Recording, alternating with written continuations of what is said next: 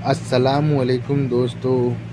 आज लेके आया हूँ मैं आप सभी के लिए गुजरी बच्चों का लौट।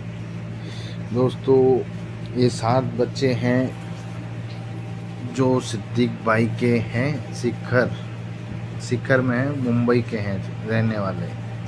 जिनमें से एक बकरा, दो दांत पे और छः बच्चे अदंत है। जो दो दांत पे है, उसका वेट अप्रोक्स सिक्सटी के वेट है। और बाकी छः बच्चे जो है, वो तीस से बत्तीस किलो के वेट पे है। माशाल्लाह, सारे बच्चों का पंच फेस पेटी, बड़ी पेटी के है।